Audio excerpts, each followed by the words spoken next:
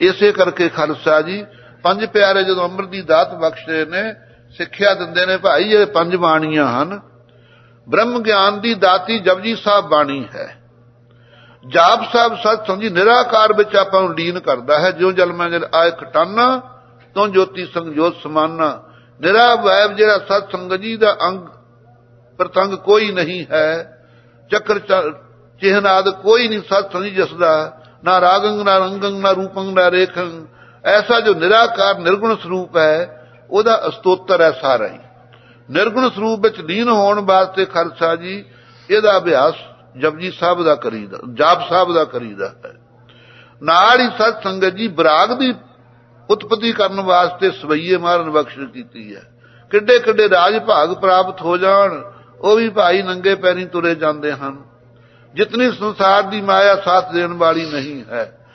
ਬਰਾਗ ਨੂੰ ਪੈਦਾ ਕਰਨ ਵਾਸਤੇ ਖਰਸਾ ਜੀ, ਸਵਈਏ ਹਨ ਤੀਜੇ ਨੰਬਰ ਤੇ ਬਾਣੀ। ਬਿਨ ਬੈਰਾਗ ਨਾ ਛੂਟ ਸਮਾਇਆ, ਬਿਨਾ ਬਰਾਗ ਤੋਂ ਮਾਇਆ ਦੀ ਖਿੱਚ ਨਹੀਂ ਛੁੱਟਦੀ। ਜਿੰਨਾ ਚਿਰ ਮਾਇਆ ਦੀ ਖਿੱਚ ਆ ਉਹਨਾਂ ਚਿਰ ਸਤ ਜੀ ਨਾਮ ਪ੍ਰੇਮ ਦੇ ਨਾਲ ਜਪ ਨਹੀਂ ਸਕਦੇ। ਭਜਨ ਦੀ ਖਿੱਚ ਨਹੀਂ ਹੋ ਸਕਦੀ। ਨਾਲ ਹੀ ਸਤ ਸੰਜੀ ਚੌਥੀ ਬਾਣੀ ਜਪ ਚੌ ਪਈ ਹੈ, ਇਹ ਰੱਖਿਆ ਅਰਥੇ ਹੈ।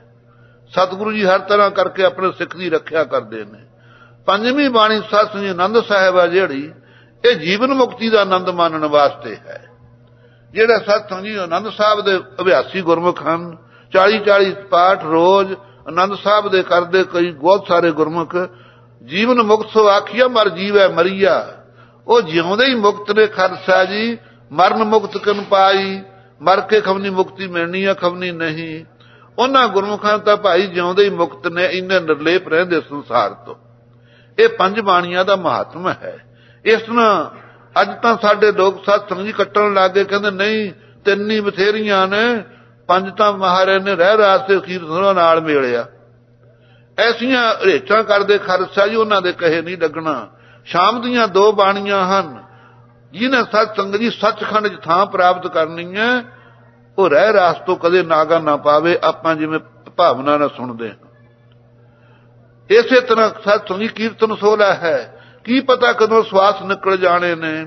ਜਿਹੜੇ ਪ੍ਰੇਮੀ ਨੇ ਸਤ ਸੰਗਤ ਜੀ, ਰੋਜ਼ ਸੁਖਣੀ ਕੀਰਤਨ ਸੋਲਾ ਪੜ ਕੇ ਸਤ ਸੰਗੀ ਪੈਣਾ, ਇੱਕ ਤਾਂ ਘਰ ਨੂੰ ਚੋਰ ਨਹੀਂ ਲੱਗਦੇ। ਨਾ ਹੀ ਸਤ ਸੰਗੀ ਕੋਈ ਡਰ ਆਉਂਦਾ, ਕਹਿੰਦਾ ਮੈਨੂੰ ਤਾਂ ਰਾਤ ਨੂੰ ਡਰ ਲਾ ਕੇ ਉੱਠਦਾ ਮੈਂ।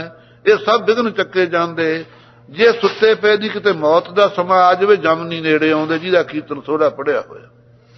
ਐਡਾ ਵੱਡਾ ਮਹਾਤਮ ਖਰਸਾ ਜੀ ਇਹਨਾਂ ਬਾਣੀਆਂ ਦਾ ਹੈ, ਸੋ ਸਤਿਗੁਰੂ ਜੀ ਦੇ ਚਰਨਾਂ 'ਚ ਪ੍ਰੀਤੀ ਹੋਵੇ ਔਰ ਨੇਚਾ ਵੀ ਹੋਵੇ, ਤਾਂ ਫਲ ਮਿਲਦਾ ਹੈ।